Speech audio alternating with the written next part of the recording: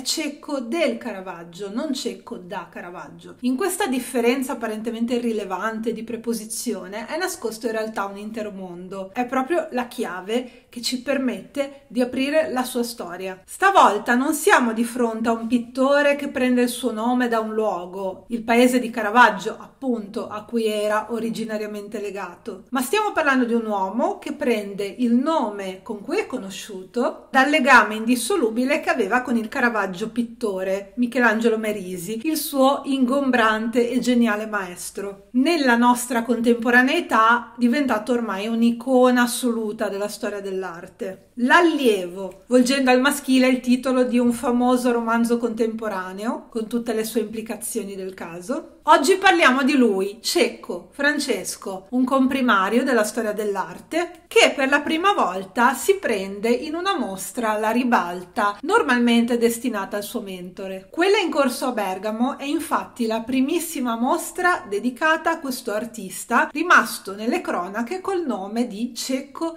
del Caravaggio. Abbiamo avuto modo anche di recente tante volte in questo canale di parlare di che grosso seguito abbia ottenuto il Caravaggio artista, di quanti si possano annoverare tra suoi allievi diretti, suoi seguaci indiretti, suoi emuli in tutta Europa a partire da Rembrandt nell'area olandese. Ma se parliamo di Cecco da Caravaggio, non stiamo parlando solo di un suo seguace artistico, cosa che comunque lui è stato, ma di qualcuno che è stato molto importante anche nella vita di Caravaggio. È stato anche nella vicenda biografica umana di Caravaggio una persona molto vicina a lui. Il garzone diventato modello, diventato amico, diventato compagno e diventato infine artista a sua volta. E come nei dipinti di Caravaggio, per cui tante volte Cecco ha fatto da modello nel corso della sua vita, la mostra di Bergamo per la prima volta permette a Cecco del Caravaggio di uscire dall'ombra del maestro, restituendogli anche finalmente il suo nome e cognome. E tra l'altro, al di là degli scherzi, parliamo di vera ombra, nel senso che la vita di Cecco di Francesco è rimasta per secoli un po' nell'ombra, è forse misteriosa tanto quanto la vita di Caravaggio, ma anche di più. Condivide col suo maestro il fatto di avere una biografia che comunque rimane un po' avvolta nel mistero e nel corso del video magari ne parliamo. Infatti, a tutti gli effetti, questa mostra, che è straordinaria per il fatto di essere il punto di arrivo di una ricerca storico-artistica durata anni, anche in sé l'aspetto molto interessante di essere quasi il frutto di una vera e propria indagine e che consente a noi come osservatori di farci un'idea anche di questa persona. Non abbiamo elementi incontrovertibili per capire qual è la psicologia di Cecco, ma viene naturale, affrontando questa mostra, abbozzare una comprensione anche umana di questo personaggio. Ed è un aspetto che ho trovato abbastanza notevole, l'idea di avvicinarmi a un individuo intravedendo qualcosa della sua anima pensando che questo individuo è stato dimenticato per secoli. Ma prima di parlare di Cecco e della mostra a lui dedicata è necessario come sempre allargare un attimo l'obiettivo. Buongiorno, come stai? Spero bene. La mostra si intitola Cecco del Caravaggio, l'allievo modello. È in corso all'Accademia Carrara della città di Bergamo sarà visitabile fino al 4 giugno 2023. È uno degli eventi di punta di una manifestazione ancora più grande che è Bergamo e Brescia, capitali della cultura. Non si può non parlare della rinascita della città di Bergamo in questo momento. Se non avete vissuto in un bunker antiatomico, che è un comportamento che personalmente non mi sento di giudicare, saprete che Bergamo non viene da un periodo facile. Vabbè, quale città viene da un periodo facile? Io sono di Genova, noi passiamo da un periodo difficile a un altro, però sicuramente appunto Bergamo è legata ovviamente alla pandemia, è stata a suo malgrado il cuore dei contagi all'inizio. È associata purtroppo a livello mediatico anche a quell'immagine orribile dei camion della morte che uscivano dalla città. Quindi stiamo parlando di una cittadina che è stata profondamente abbattuta e che finalmente adesso sta risollevando il capo. Ed è naturale, come accade in questi casi, che ci sia una forte volontà di rilancio, anzi di superamento. Bergamo ritrova un orgoglio in cui vuol far vedere anche di essere una città d'arte. Insieme alla città di Brescia, che è un po' una città gemella per tanti aspetti, sono state elette quest'anno giustamente, secondo me hanno fatto benissimo, capitali della cultura e presentano tantissimi eventi correlati. Uno degli eventi di punta è proprio questa mostra dedicata a Cecco del Caravaggio che in realtà era in cantiere da un po' di tempo, era già in fase di progetto prima che la pandemia scoppiasse. Quindi è stata rimandata di due anni abbondanti ed è stata inaugurata per Bergamo Capitale della Cultura anche in concomitanza alla riapertura del museo in cui è ospitata, cioè l'Accademia Carrara che negli ultimi anni ha subito un restyling a tutti gli effetti. Presenta un allestimento nuovo di zecca, quindi è anche un'occasione nel momento in cui si va a visitare la mostra per vedere la nuova collocazione della collezione dell'Accademia Carrara che è una collezione anche molto interessante perché è stata veramente riunita da collezionisti, non sono opere di cui il comune o lo Stato si è appropriato con la caduta degli ordini monastici, per esempio, ma sono proprio nuclei di collezioni poi donate alla comunità per uso degli artisti dell'Accademia, per quello che si chiama Accademia Carrara. Quindi è una pinacoteca da quel punto di vista abbastanza eccezionale nel suo genere. Il biglietto d'ingresso comprende sia la possibilità di visitare la collezione permanente, sia le mostre, in questo caso proprio la mostra su Cecco del Caravaggio. E devo dire che mi sembra che stia avendo un buon successo, quantomeno molte persone che erano nelle sale del museo ho notato che chiedevano a più riprese ai custodi e ai volontari dove si trovasse la mostra. Quindi era proprio richiesta in modo specifico e desta molto interesse. Ecco, l'Accademia Carrara è questa, la vedete? Questo palazzo qui. Lo dico perché effettivamente quando si guarda la facciata del palazzo la mostra non sembra così ben segnalata. C'è una stele all'ingresso laterale che però non è visibile da tutte le angolazioni e da distante. Quindi ho notato che molta gente era titubante nell'entrare nell'Accademia Carrara, anche perché la, la porta d'ingresso era chiusa. Io ho notato che nei musei il fatto che la porta sia chiusa manda in crisi chiunque, bisogna sempre fare qualcosa per tenerla aperta e mettere dei cartelli enormi con scritto Accademia Carrara, mostra su Cecco del Caravaggio e chi per lui, perché i visitatori sono timidi e quindi anche solo l'atto di girare una maniglia ed aprire una porta comunque è un trauma turistico. Quindi sì, questo è il palazzo. Entrate pure senza tema. Ok, una volta che siete dentro, prendete il vostro biglietto e potete visitare la nuova pinacoteca e la mostra che al momento è proprio quella su Cecco del Caravaggio. La mostra è importantissima anche perché presenta di tutto il corpus di opere attualmente attribuito a questo artista Cecco del Caravaggio 19 opere su 30 in tutto nel senso che ci sono 30 opere più o meno attribuite a lui al momento, nella mostra se ne trovano 20, quindi due terzi praticamente. Noi siamo ormai abituati alle mostre in cui attorno a due o tre opere dell'artista si costruisce un discorso che comprende anche tante opere di altri. Io mi ricordo una mostra di Gauguin qua nella mia città in cui c'era un'opera di Gauguin effettivamente e tanti altri discorsi collaterali attorno. Qua stiamo parlando invece di veramente una mostra monografica su Cecco del Caravaggio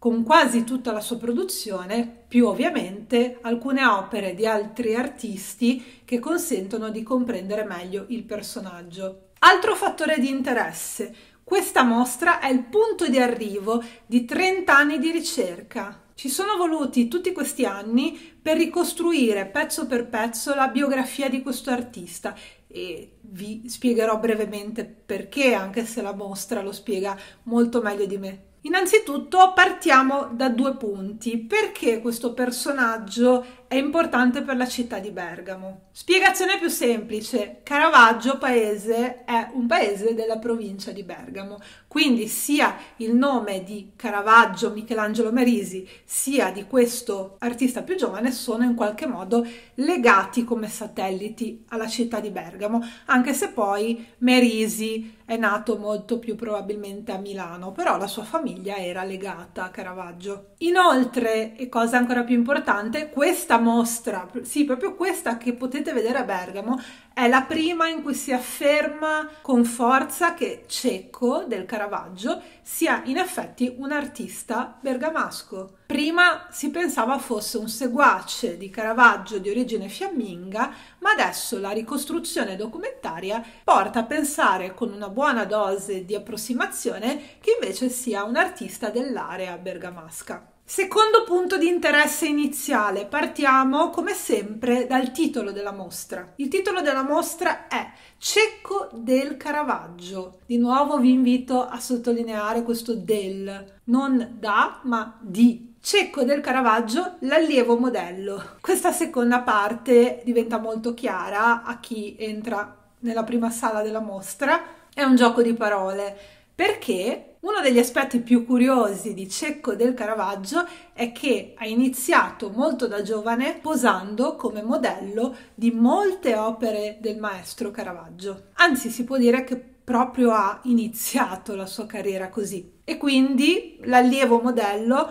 ma più precisamente il modello allievo. E qua bisogna fare un'inevitabile digressione su questa pratica che ritroviamo fin dal 1400 per cui questi artisti normalmente uomini prendevano a bottega e spesso come conviventi dei ragazzini molto giovani anche allo scopo di instradarli al mestiere di artista, di pittore. In alcuni casi erano semplicemente studenti, ma in altri diventava qualcosa di più, qualcosa anche di ambiguo, che per certi versi ci ricorda la pedagogia pederastica dell'antica Grecia, nel senso che quel tipo di pedagogia prevedeva che un uomo più grande istruisse dal punto di vista intellettuale uno più giovane, ma nel contempo instaurasse con lui anche un legame romantico, amoroso, fisico. Se parliamo delle botteghe rinascimentali e post-rinascimentali, la questione è leggermente meno esplicita, non ci sono scritti come nel caso dell'antica Grecia in cui si parli o si esalti questa pratica. Quindi a livello di certezza si può dire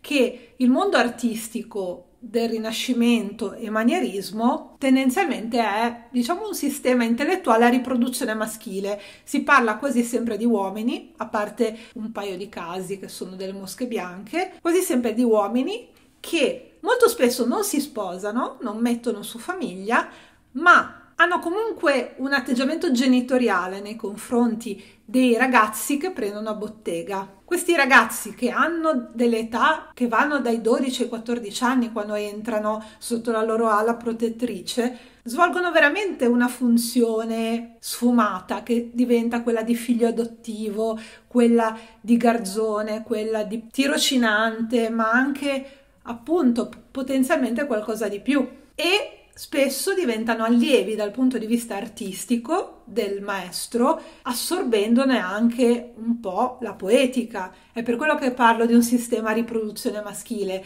perché L'artista padre riproduce se stesso dal punto di vista artistico tramite quelli che poi saranno suoi seguaci, che porteranno il suo stile a un'ulteriore evoluzione. È come il sistema genetico ma rapportato all'arte. Gli uomini che hanno trovato un modo per riprodursi in cui le donne sono totalmente escluse. Sembra incredibile, ma di Caravaggio, intendo di Caravaggio Michelangelo Merisi, non si sa moltissimo. La sua vicenda biografica è ricostruibile praticamente attraverso solo la burocrazia, cioè capiamo dove era e cosa faceva perché ci sono censimenti, atti di vendita, tantissimissime denunce, vabbè non tantissimissime, però comunque era figura nota ai tribunali, non solo per il più famoso omicidio, ma era stato anche denunciato per diffamazione, per morosità, non pagava l'affitto, quindi diciamo che questi eventi giuridici, burocratici costellano un po' la sua vicenda biografica, però del suo lato umano si sa veramente pochissimo, si ricostruisce praticamente attraverso prove indiziarie e lo stesso dicasi per la vicenda di Cecco. Questo perché all'epoca non si tendeva quanto oggi o quanto in altri momenti storici a lasciare molte testimonianze scritte e c'era anche un interesse minore per il gossip per tante ragioni. Se voi vedete la maggior parte delle biografie dei primi secoli su questi artisti, sono tutte biografie del lavoro, non c'è quasi mai il dato della vita privata, era qualcosa di cui non si trattava, il che potrebbe suggerire che fossero più seriosi all'epoca in un certo senso, meno dediti al pettegolezzo. Però nel caso di Merisi teniamo anche conto che era un'epoca storica in cui non conveniva tanto lasciare scritta roba che ti riguardasse della vita privata. Cos'era successo infatti di infausto a quel punto? Caravaggio ha l'immane sfortuna che vabbè ha inciso sulla sua vita fino a un certo punto, però anche sì, di vivere dopo la Controriforma. La Controriforma è quell'evento storico che, per dirlo in maniera semplice, ha rovinato la festa a tutti. È una reazione alla riforma protestante, per questo che si chiama Controriforma, della Chiesa cattolica che di fronte a questo grossissimo scisma, questa spaccatura del protestantesimo, cerca di riprendere il controllo, quindi dà un po' diciamo elastica che era diventata, torna a essere molto repressiva, molto censoria, stabilisce proprio delle regole e le regole valgono anche per i costumi, per i comportamenti e per l'arte. Quindi tutta la vita di Caravaggio è costellata dal fatto che le sue opere non incontravano il gusto della Controriforma. E anche il personaggio in sé probabilmente non piaceva moltissimo per quanto fosse comunque stimato e affascinasse i committenti, però mm, quindi è un'epoca storica in cui non è che convenisse tenere un diario segreto, ecco. È il motivo per cui noi oggi non abbiamo poi tanti elementi per essere sicuri al 100% di quali fossero le relazioni umane di questi soggetti. Questa repressione, se ha colpito Caravaggio, ha colpito due volte Cecco del Caravaggio. Caravaggio oggi non ce ne rendiamo conto perché è un idolo assoluto, però nei secoli successivi alla sua vita ha subito una damnatio memorie, cioè una volontà di lasciarlo andare, metterlo tra i tanti poco rilevanti dell'arte ed è stato poi ripescato dal cambiamento del gusto della contemporaneità che invece l'ha riscoperto e celebrato moltissimo. Però ci sono artisti nel periodo del neoclassicismo soprattutto che dicevano che Caravaggio era la cosa peggiore che fosse mai capitata alla storia dell'arte. Questo l'ha detto Poussin, un pittore francese, non me lo sto inventando. Se questa cancellazione l'ha subita in parte Caravaggio, è probabile pensare che l'abbia subita due volte anche Cecco del Caravaggio per vari fattori, sia per la sua relazione con il maestro, sia per poi quello che sarà come pittore. Non si conoscono le date di nascita e di morte di Cecco del Caravaggio. A differenza del maestro, non lascia tracce neanche nelle cronache giudiziarie, non fa botte, non ammazza nessuno, non diffama nessuno. È un bravo ragazzo Cecco. Il suo nome però lascia delle tracce sparse nelle cronache tanto sparse che per secoli non è stato possibile capire subito che si stesse parlando della stessa persona. Si è ricostruita la sua biografia grazie al lavoro di un particolare studioso che ha cercato di concentrarsi su di lui, un esperto dell'ambito di Caravaggio, che ha proprio deciso di andare a stringere l'obiettivo su Cecco e minuziosamente proprio con l'intento di ricostruire la sua vita, trovare tutti gli ambiti in cui era stato nominato o poteva essere stato nominato. Tale studioso si chiama Gianni Papi e il valore aggiunto è che la mostra in Corso Bergamo è curata proprio da lui, quindi la mostra dà la possibilità di vedere il risultato finale di 30 anni di lavoro di questo studioso che ha ricostruito la vita di Cecco del Caravaggio. È questo che rende la mostra un'occasione irripetibile per chi vuole avvicinarsi non solo al personaggio ma anche al metodo con cui la storia dell'arte può ricostruire la vicenda artistica di una figura di pittore che non è così facilmente riconoscibile. Il metodo di Gianni Papie è stato molto affascinante e ve lo riassumo veramente con tre parole per non dilungarmi. Il punto di partenza come testimonianza non proprio diretta ma quasi è stato un sonetto seicentesco che attribuiva a Cecco del Caravaggio un'opera presente in mostra al momento che è La cacciata dal Tempio. Partendo da quello, negli anni 40 Roberto Longhi, che è stato un importantissimo fondamentale storico dell'arte, grazie a questa attribuzione era riuscito ad estendere la paternità di altre tre opere a Cecco del Caravaggio, con delle intuizioni anche molto notevoli dal punto di vista del riconoscimento del tratto e che effettivamente a guardare le opere sono molto puntuali. Tra l'altro anche facendo riferimento a opere che sono in collezioni private, quindi non le aveva sotto gli occhi. Adesso che c'è la possibilità di confrontarle dal vivo e in mostra praticamente a distanza di poche sale, queste intuizioni si rivelano tanto più veritiere. Ecco, quindi finiamo negli anni 50 che abbiamo un corpus di quattro opere di Cecco del Caravaggio, figura che ricorre anche in altre testimonianze, sempre chiamato Cecco del Caravaggio. Poi abbiamo un altro documento molto importante della Pasqua del 1605, un censimento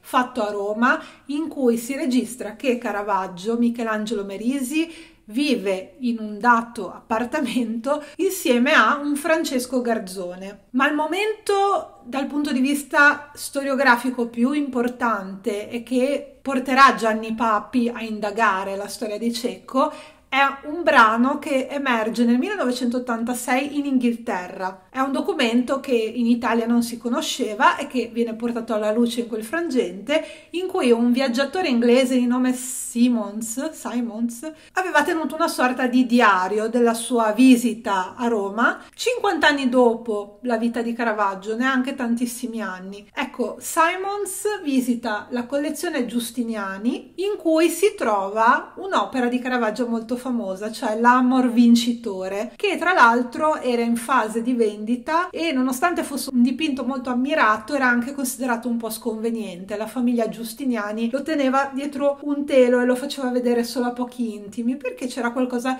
di un po' conturbante in quest'opera. Bene, Simons, proprio come ospite, ha evidentemente la possibilità di sentire un po' di gossip parlato, quello che in Italia si diceva e non si scriveva e lo riporta in una sorta di mix tra inglese e italiano. In pratica dice: Mi hanno raccontato che il modello di questo dipinto, l'amor vincitore, era un ragazzo che stava con Caravaggio, era il suo ragazzo e usa proprio own, non usa is, usa proprio ragazzo come se gli appartenesse e non contento Simons precisa che dormiva con lui. Questi fantastici eufemismi che per secoli hanno generato ogni tipo di illazione e controillazione, ma non ci interessa. La questione importante è che Simons lo nomina, dice questo ragazzo si chiamava Checco del Caravaggio e ci sono poche possibilità che si tratti di qualcun altro. Questa ricorrenza ossessiva di questo cieco Checco Francesco del Caravaggio che gli gravitava attorno come un satellite, è difficile pensare che non si tratti sempre della stessa persona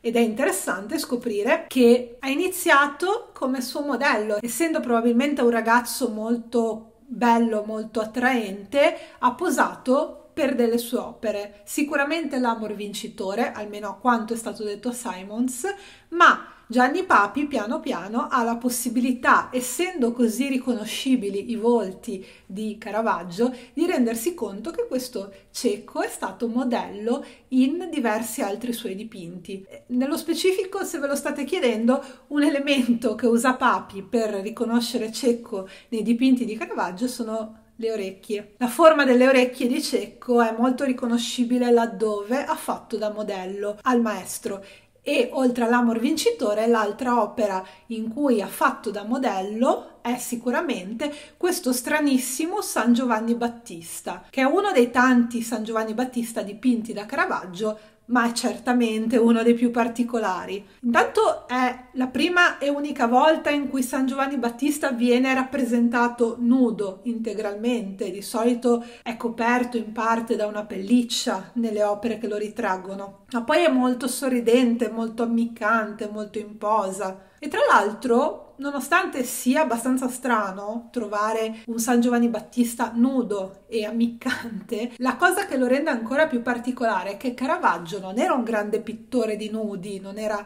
un qualcuno che se poteva metterti un personaggio nudo lo faceva com- come l'altro Michelangelo. No, tendenzialmente Merisi ha fatto pochissime opere di nudo integrale e quelle pochissime sono le opere in cui Cecco ha fatto da modello. Il famoso Amor vincitore, che oggi si trova in Germania, non è prestato alla mostra, però invece il San Giovanni Battista dei Musei Capitolini di Roma lo possiamo vedere nella prima sala della mostra in tutto il suo splendore, così da poter ammirare il giovane cecco nei suoi anni da modello per il maestro. Un altro momento importantissimo nella ricostruzione di Gianni Papi è quando un'altra studiosa rinviene un documento del 1619, quindi facciamo un salto in avanti, in cui si dispone il pagamento a tre pittori per la decorazione di una cappella a Roma e uno di questi tre pittori è un tale Francesco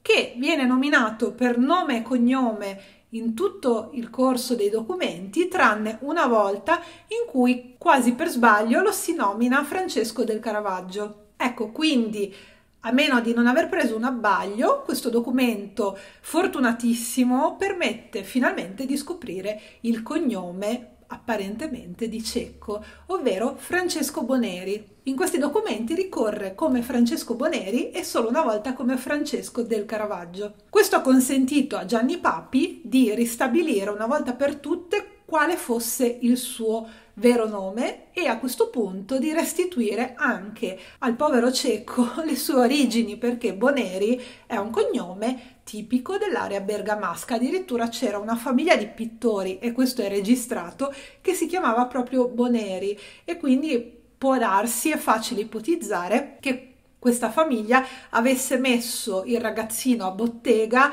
da un pittore conterraneo, come lo stesso Caravaggio, che era appunto originario dell'ambito lombardo. Quindi in questa mostra per la prima volta si fanno due cose: si presenta Cecco del Caravaggio come pittore dell'area bergamasca e gli si restituisce il suo vero nome. Ogni opera a lui attribuita viene segnata come di Francesco Boneri. Gli viene in pratica restituita la sua identità, non è più solo il ragazzo di Caravaggio, ma è una persona vera con una sua identità in carne ed ossa e la mostra vuole proprio dirci questo, anche perché al di là del suo legame con il maestro di cui non si può non parlare, quello che ci vuole dire la mostra è che questo individuo non è stato solo un satellite attorno alla figura mastodontica di Caravaggio, ma è stato anche un pianeta a sé stante dal punto di vista artistico. Ha uno stile che ovviamente discende da quello di Caravaggio, ma che si affranca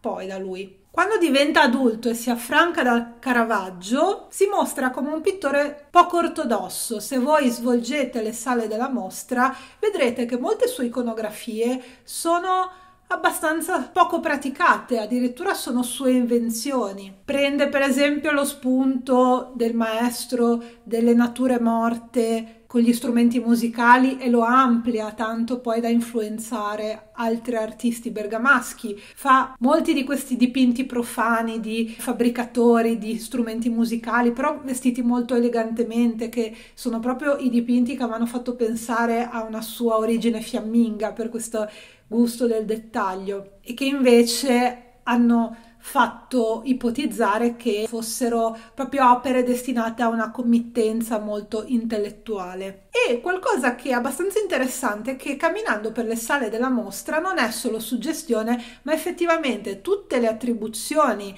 che Papi ha fatto o ha confermato di Cecco del Caravaggio sono in qualche modo sposabili, nel senso che avvicinando questi dipinti uno all'altro effettivamente una somiglianza molto forte nello stile si nota. Di solito osservare la pittura di un artista è come a volte osservare una calligrafia, addirittura un'impronta digitale, quindi si vedono dei vizi nel modo di dipingere, delle ricorrenze. E in cieco per esempio si nota un modo particolare sempre di realizzare le pieghe dei vestiti, cioè poco sfumato, le immagini sono sempre angolose, c'è sempre una sorta di riverbero anche sulla stoffa. Nella rappresentazione dei volti anche ci sono delle somiglianze, c'è un qualche elemento quasi naif nel modo in cui i corpi sono disposti. E quello che ne viene fuori in generale è un artista molto anticonformista che probabilmente è andato incontra una cancellazione anche per il fatto di non incontrare per niente i gusti della Controriforma. Un altro elemento che ricorre molto nei suoi dipinti è un elemento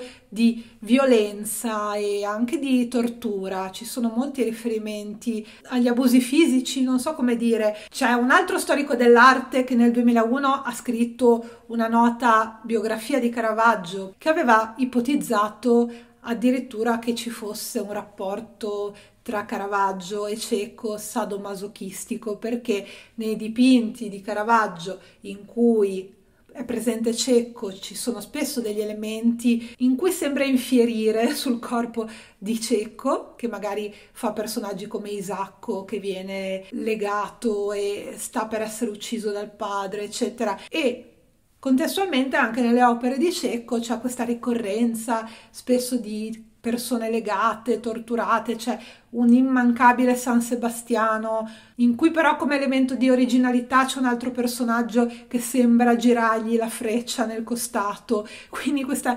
ricorrenza dell'elemento della violenza. E quindi apriamo una parentesi sull'elefante nella stanza. Quali elementi si hanno per ipotizzare una relazione tra Caravaggio, maestro e Cecco che fosse anche fisica e non solo pedagogica. Tanto per cominciare, il modo e le iconografie in cui Cecco veniva rappresentato da Caravaggio. Molti ravvisano comunque un ammiccamento molto forte sia nell'Amor vincitore sia nel San Giovanni Battista. In entrambi i dipinti c'è un po' un indulgere anche la rappresentazione del ragazzo sono appunto gli unici dipinti di Caravaggio di nudi integrali che hanno anche questa sorta di, di carica erotica. I toni con cui Simons, il viaggiatore inglese, ne parla, questo insistere sul fatto era il suo ragazzo che dormiva con lui, che sì, potrebbe anche voler dire che semplicemente Caravaggio si era preso questo garzone in casa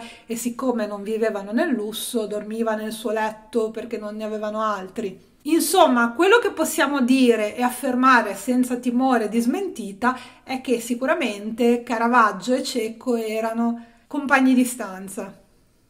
Inoltre l'artista cecco in qualche modo sembra portarsi questo strascico in maniera abbastanza esplicita da adulto perché realizza una serie di opere che tra l'altro sono state precocemente attribuite a lui. Roberto Longhi aveva stabilito che una di queste fosse molto probabilmente riconducibile a Cecco. E si tratta, nella fattispecie, di queste due opere presenti in mostra. Una è un San Giovanni Battista alla fonte, un'iconografia già esistente nella storia dell'arte, ma mai in questi termini. In questo caso abbiamo di nuovo un San Giovanni Battista completamente nudo, senza i suoi attributi, non c'è nessun elemento che suggerisca che sia lui, se non l'iconografia stessa, è in una posizione abbastanza tipica, il dipinto eh, possiamo definirlo allusivo senza timore di turbare YouTube e questa stessa impostazione la utilizza in un altro quadro analogo che è l'amore alla fonte, in cui in questo caso abbiamo proprio un amor, un cupido che si abbevera alla fonte con lo stesso identico atteggiamento, modo, la stessa impostazione, però con queste grosse ali bellissime e oscure. Voi caso le due iconografie con cui Cecco era stato rappresentato da ragazzino proprio da Caravaggio, San Giovanni Battista e Amor Vincitore. Qua è come se ne rappresentasse una versione invecchiata. C'è un po' l'effetto gioventù bruciata, come se fosse l'Amor che ha una crisi di mezz'età. Cioè quello che dice guarda, sono stato il giovane bellissimo modello di queste opere da ragazzino e adesso sono l'Amor invecchiato e affaticato che si abbevera alla fonte fonte che ha una funzione metaforica, nel senso che abbeverarsi alla fonte vuol dire anche nutrire il proprio spirito con la conoscenza, con la religione, eccetera, ma anche evidentemente una componente molto fisica. E quindi è molto difficile guardare a quest'opera senza avere il fantasma del fatto che fosse anche una riflessione di cieco del Caravaggio nei confronti del suo passato e che ci fosse anche un che di conflittuale, ci sono degli elementi nella versione più famosa di questo Amor alla fonte che suggeriscono appunto un conflitto di qualche tipo, ma lì è facile che noi contemporanei proiettiamo molto il nostro modo di pensare su quella epoca, cosa che non va mai fatto, ma che è inevitabile fare alla fine. Non lo sappiamo per certo, ma se fosse vero che questa persona, Cecco, ha avuto una relazione quando era molto giovane con un artista più grande di lui, che era anche molto carismatico, molto aggressivo, molto ingombrante, è molto difficile guardare a questi dipinti senza pensare che ci sia una perfetta corrispondenza nel messaggio, anche nello scegliere proprio gli stessi due personaggi con cui l'aveva ritratto da giovane. Siamo nel 2023 e proprio negli ultimi anni, se ci pensate, è stata molto messa in discussione questa dinamica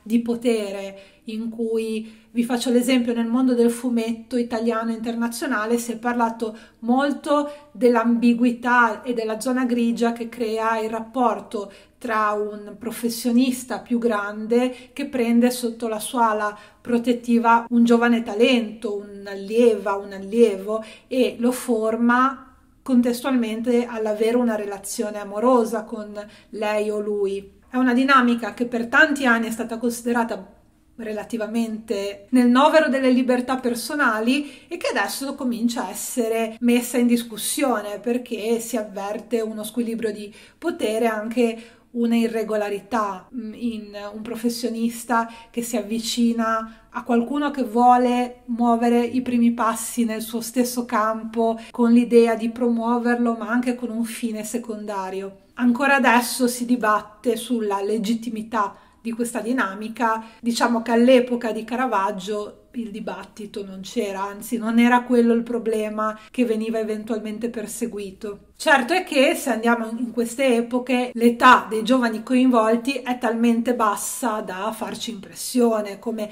ci fa impressione il fatto che in quegli anni una ragazzina di 12 anni poteva già andare in moglie, ci fa altrettanta impressione l'idea che un ragazzino coetaneo potesse essere oggetto di mire non del tutto paterne e innocue, ecco. Siamo impossibilitati letteralmente a guardare a queste epoche senza il nostro filtro attuale di giudizio. Quindi facciamo molta fatica a non attribuire, muovendoci nelle sale, vedendo questi dipinti un trauma di Cecco da elaborare, qualcosa che nel suo contesto non veniva neanche troppo problematizzato. Noi facciamo molta fatica a pensare che invece non gli abbia lasciato uno strascico e quindi lo finiamo per individuare anche nelle sue opere. Sono affermazioni che non possiamo fare una volta per tutte. Certo è che comunque questa sua trasposizione così originale dell'Amor alla fonte, che è un'iconografia che si è inventato di sana pianta, che non esiste. Questa serie di dipinti affascina per la sua originalità, ma anche proprio perché ha un che di conturbante, impavido e ironico a tutti gli effetti. Trasmette l'idea che Cecco fosse una personalità un po' piratesca, con questo magari grosso bagaglio, ma che era anche in grado di rielaborarlo in maniera autoironica e scherzosa tutto sommato, trovando anche soluzioni innovative perché una cosa che caratterizza molti dei dipinti che vedrete in mostra è che questo pittore trovava molte soluzioni meta-artistiche veramente raffinate che un po' discendono da Caravaggio nel suo preparare i dipinti come se fossero un set teatrale, ma che vanno addirittura oltre. Ci sono dei dettagli nei dipinti di Cecco che sfondano proprio la quarta parete, che sembrano quasi chiamare lo spettatore a essere parte dell'opera, come questo cassetto aperto in primo piano, o la trovata del quadro nel quadro nella versione originale dell'Amor vincitore. Gianni Papi ha ipotizzato che fosse il pittore ideale di una serie di committenti che apposta proprio nell'epoca della Controriforma volevano opere che avessero dei messaggi un po' enigmatici, quasi dei messaggi in codice che fosse necessario decriptare. Del resto è tipico dei periodi con forte censura che si comunichi anche sotto forma di codice, quindi molte delle nature morte che compaiono nei dipinti di Cecco sono magari probabilmente dei simbolismi di qualcosa che in parte è anche andata persa. Ha mostrato tra l'altro una grande autonomia dal modello di Caravaggio perché molte delle sue opere sono anche collegate a un altro modello, quello del bresciano Savoldo. Infatti in mostra ci sono opere prestate proprio di Savoldo che rafforzano la teoria che Francesco Boneri Francesco del Caravaggio sia un pittore dell'area bergamasca e non assolutamente un pittore straniero. Vi invito a visitare la mostra, è veramente bella, interessante, volutamente non c'è luce naturale, è abbastanza oscura, è una mostra di cui vale la pena recuperare il catalogo perché è a tutti gli effetti la raccolta più recente di tutti gli studi che sono stati fatti in questi 30 anni relativamente a Cecco del Caravaggio, quindi rimarrà nel tempo anche un documento molto importante per parlare di questo artista. Un'eventuale debolezza della mostra, del resto dichiarata da Gianni Papi in primis, è che la ricostruzione della vita di Cecco del Caravaggio è una ricostruzione indiziaria, nel senso che ci sono tanti piccoli elementi che combinati insieme danno quella che si può chiamare una certezza approssimativamente, ma non esiste nessuna prova regina. Non esiste un documento nero su bianco. Diciamo che siamo in quell'area tipica della cronaca giudiziaria sugli omicidi in cui si dice siamo sicuri che l'assassino indossasse quel particolare pigiama ma non possiamo essere certi oltre ogni ragionevole dubbio che quel pigiama era in quel momento indossato dal suo legittimo proprietario. Non so se mi sono spiegata, dunque molte delle prove sono legate a la logica e il buon senso, però ci sta che possano esserci delle ipotesi non reali, non vere, anche perché persino i documenti che hanno utilizzato per legare tutti questi fili non è che sono solidi in tutto per tutto, magari c'è sempre il redattore che ha sbagliato a scrivere un nome, magari voleva riferirsi a un personaggio invece ne nomina un altro, ci può essere la persona che racconta un aneddoto, ma questo aneddoto magari è passato per molti intermediari ed è mutato nel tempo, quindi lo storico dell'arte attualmente ricostruisce in base a quello che ha che sono tanti dettagli, magari alcuni giusti, magari alcuni sbagliati. Però contestualmente, nonostante questa debolezza, io l'ho trovata un'indagine, una mostra, una ricostruzione molto molto solida che ha il suo principale fattore di interesse anche per un non addetto ai lavori nel vedere come funziona il lavoro di uno storico dell'arte cosa può fare ancora oggi la ricerca di uno storico dell'arte? Se si focalizza su una data pista, su un dato percorso, su un dato individuo, può arrivare a trovare dei collegamenti inediti, perché magari quelle righe, quei riferimenti, quei nomi sono sempre stati lì sotto i nostri occhi, ma ci vuole anche qualcuno che conosca la materia in grado di unire quei punti e dare un, un disegno d'insieme e a volte ci sono degli ambiti che sono proprio trascurati fino a che qualcuno non se li prende a carico e anche a cuore. La storia dell'arte è ancora indagine viva, in grado di trarre nuove risposte dal buio tramite lo studio, il raffronto e la conoscenza della materia, è in grado di riannodare quei fili della storia che sembravano dispersi e slabbrati. Di Cecco al momento non si sa nulla dopo il 1620, che è la data in cui riceve un pagamento. Dopo di questo, puff,